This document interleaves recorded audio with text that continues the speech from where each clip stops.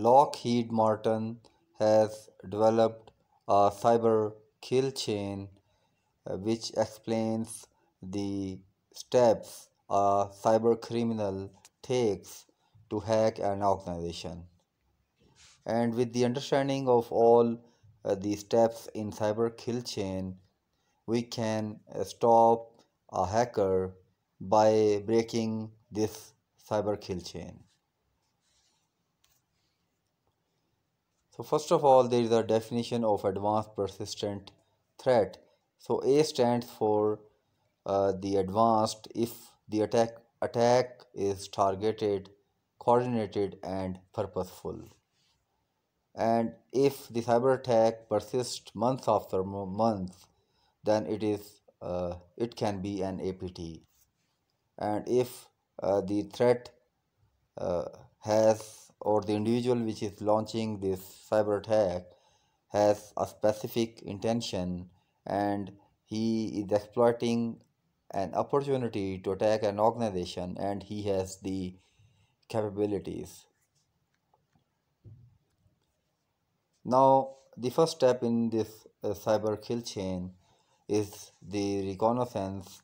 So, the hacker harvests the information related to an organization. For example, the email addresses or maybe uh, the URLs or any other event or activity uh, going on in the organization and he can then use this information to launch phishing attack on the organization after reconnaissance the hacker will prepare a payload by coupling the exploit with a backdoor so after preparing this payload then he will deliver this malicious payload to the organization IT systems uh, by uh, email or by web or by using the USB.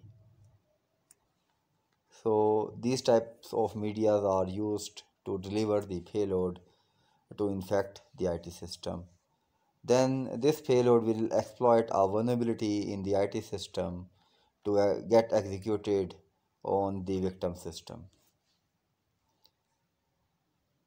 and after uh, that a malware will get installed on the IT system and this malware uh, will have a backdoor with the command and control server which is established by the hacker for carrying out remote manipulation of that IT system of an organization and the final step is to perform uh, the actions or the administrative or malicious administrative task on the IT system to achieve the goal.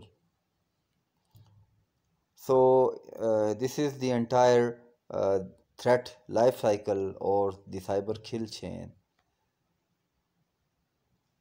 And as a security administrator, uh, we can break any of the link uh, in uh, these uh, cyber kill chain steps to prevent our organization from getting exploited by the hacker.